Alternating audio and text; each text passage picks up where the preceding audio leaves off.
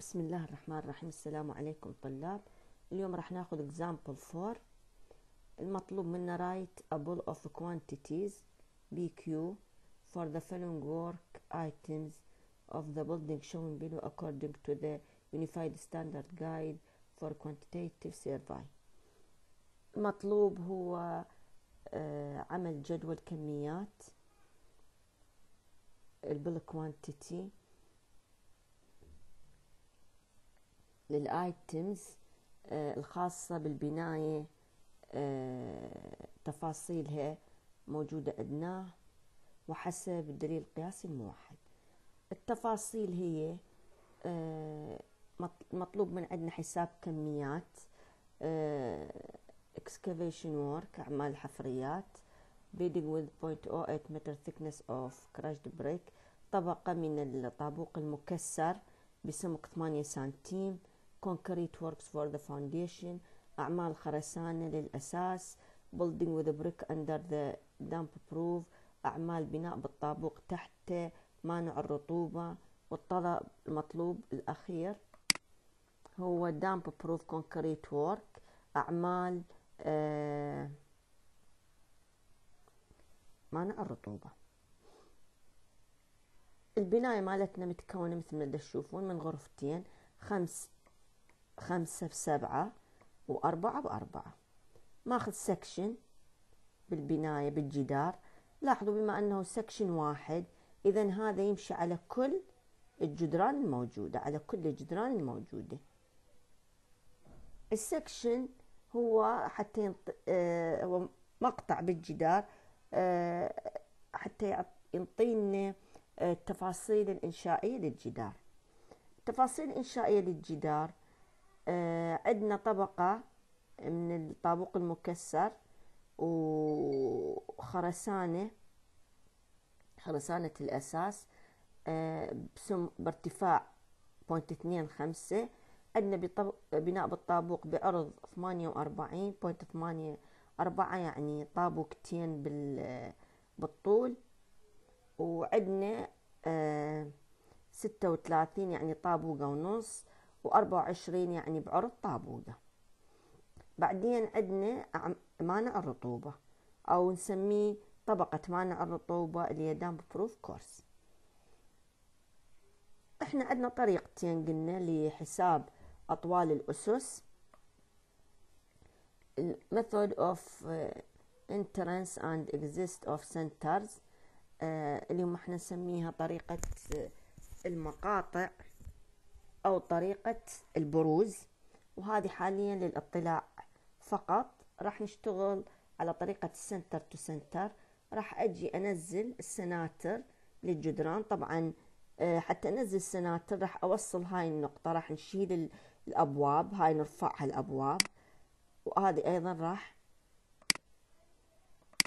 وهذا الباب أيضا راح نرفعه وراح نوصل الجدار حتى نحسب ال center to center لأن إحنا تحت مانع الرطوبة ما عندنا لا جدران ما عندنا أبواب. فوصلت مثل ما تشوفون وصلت هذه النقطة وصلت هذه فصار عندنا بناية مالتنا بهالشكل. أجي أنزل ال center line لكل الجدران وأحسب الكمية أو طول الأساس. لاحظوا طول الأساس هو راح يفيدنا بحساب كمية الطابوق المكسر خرسانة الأساس البناء بالطابوق تحت البتلو. هذه كلها تفيدنا ب... وأيضا بطبقة البتلو. نجي نحسب إحنا راح ناخذ القطع العمودية والقطع الأفقية. القطعة الأفقية إذا نحسبها هي عبارة عن منا إلى هنا. هي point اثنين أربعة على اثنين. من هنا إلى هنا هي أربعة يعني point اثنين أربعة على اثنين. زائد أربعة زائدا point أربعة وعشرين زائدا خمسة زائدا point أربعة وعشرين على اثنين. يمكن أحد يسأل يقول ليش هذه أربعة وعشرين إيش مدريني أني هذه أربعة وعشرين إحنا دائما يكون عرض ال plan عرض الجدار بال plan هو لآخر جدار أو لأعلى جدار موجود عندنا. اللي هو عرض أربعة وعشرين. هذه لو نلاحظ هذه القطعة لو هذه هسه لو خليه نشوف.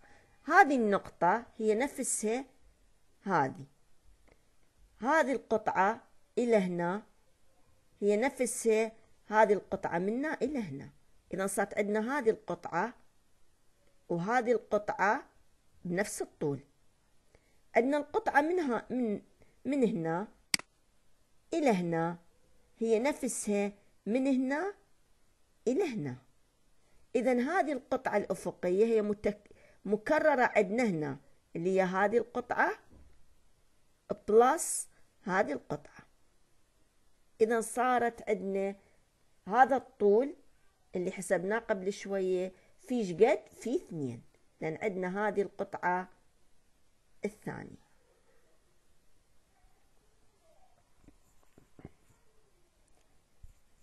القطع العمودية عندنا قطعتين.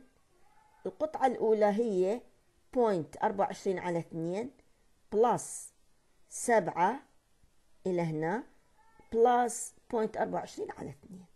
هذه متكررة مرتين. هذه القطعة عندنا وعندنا هذه القطعة.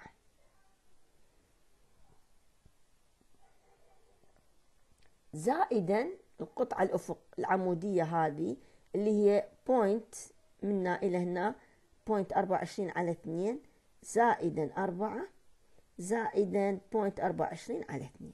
فصارت عندنا مثل ما تلاحظون أربعة زائدا point أربعة وعشرين على اثنين في اثنين. هذه الاثنين هي تابعة للأربعة وعشرين وليس للأربعة يعني point أربعة زائد point أربعة وعشرين على اثنين في اثنين. وهذه القطعة هي مكررة مرتين وهذه القطعة مكررة مرة واحدة. فراح تكون النتيجة سبعة وثلاثين point six eight متر. هسه نجي. تعلمنا إحنا بالمثال السابق شلون ننقص بنقاط التقاطع. لاحظوا إحنا هنا دا تشوفون هنا صارت عندنا حرف تي إحنا لو نتصور بأنه دا نحفر محيط الجدران محيط الغرف الغرفتين. يعني راح أحفر هذه وأحفر هذه وأحفر هذه وأحفر هذه وأحفر هذه يعني بالضبط هيك راح يصير عندنا الحفر. اللي هو محيط الغرف. نيجي بعدين نحفر. تصور بأنه إحنا جينا نحفر الطبقة نحفر القطعة العمودية. قلنا راح نحفر بهالشكل هذا المحيط عندنا كامل. دا نحفر. هذه انحفرت. هذه انحفرت. هذه انحفرت. نجي نحفر منه الطبقة العفو العمودية القطعة العمودية الوسطية إحنا هذه كلها حافرة إذا عندنا منو بقت؟ بقت هذه إلى هنا أحفرها.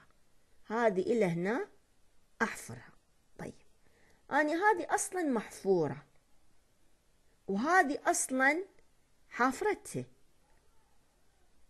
إذا من أجي أحفر راح يصير عندنا نقاط التقاء. اللي هي مثل حرف تي هذه حرف تي وهذه حرف T فإذا هذه القطعة هذه القطعة هذه القطعة الداخلية العمودية راح نحسبها إحنا لسه center to center يعني يصير عندنا point اثنين أربعة على اثنين زائدا أربعة زائدا أربعة زائدا point أربعة وعشرين على اثنين. إحنا هذه أصلا حافرية. وهذه أصلا محفورة. فإذا إيش راح نقص؟ ما راح نعيدها مرتين الحفر. فراح ننقص بمقدار قد؟ بمقدار لأن إحنا بدنا نوصل لل center to center.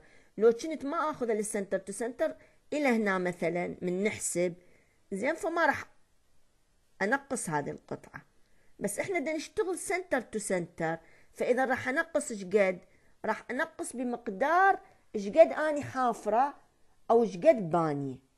لو نجي على عرض الأساس point تسعة. عرض الأساس point تسعة. اللي هو يشمل منه يشمل آه، فرش طبقة من الطابوق المكسر وخرسانة الأساس. راح نلاحظ بأن إيش قد عرضها؟ point تسعة. يعني كأنما أني حفرت بعرض point تسعة. إذا هذه ما عندنا بيها أي مشكلة. هذه ثابتة. ال center to center لكن ال center to center من أجي لعرض أساس point تسعة إذا لازم أنقص من عندها شنو؟ أنقص من عندها هذه القطعة اللي عبارة عن point تسعة على اثنين وهذه اللي عبارة عن شقد point تسعة على اثنين. بالجدار عرض ثمانية وأربعين.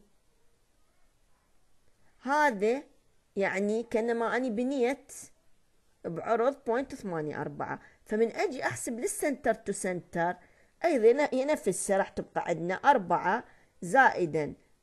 point واحد اثنين زائد point واحد اثنين. لكن لو أتخيل بأنه هذا الجدار مبني لو نتخيل هذا الجدار مبني تخيلوا هذا الجدار مبني وهذا الجدار مبني فمن أجي أحسب لل center to center. زين؟ من أحسب لل center to center. لازم أنقص منه شنو؟ لأن أنا ما معقولة راح أحسب لل center to center هو أصلا مبني. يعني هو مبني بس مبني بعرض إيش قد؟ مو 24 مبني بعرض 48 فمن أوصل لل center مالته أنا حسابي لازم أرجع أنقص لأن إحنا هذا مبني مبني كامل. إذا أنقص قد؟ بمقدار بوينت أربعة ثمانية على اثنين وبوينت ثمانية أربعة على اثنين.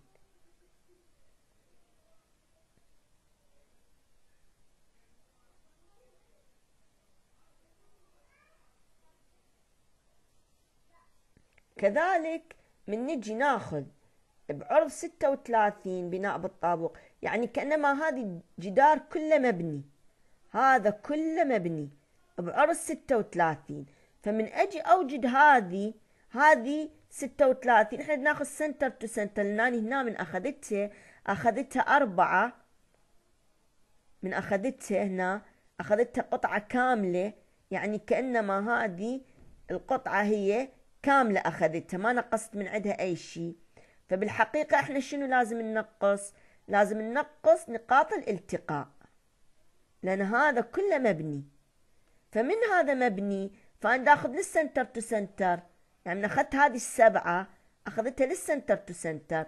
فإذا لازم أنقص من عندها نص الجدار بعرض ستة وثلاثين يعني point ستة وثلاثين على اثنين. وأيضا هنا لما حف... لما بنيت هذه ما معقولة راح أبني أوصل لهنا. لا راح أبني أوصل لهنا. فأيضا شنو أنقص؟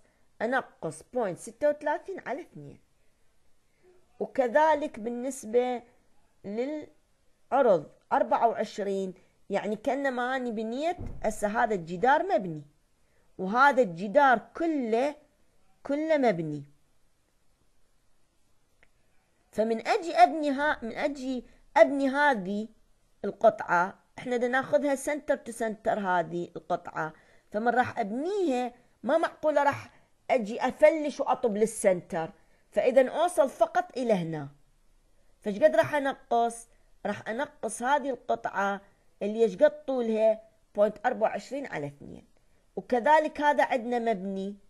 فمن أجي أريد أبني هذه راح تكون عندي التقاطع هو هذا مبني. فإذا ما راح أحسب أنا إلى هنا إلى هنا لازم شنو أنقص؟ أنقص ال point أربعة وعشرين. يعني أنقص هذه هذه هذا الجزء اللي هو point أربعة وعشرين على اثنين. وتكون عندنا الأطوال بالشكل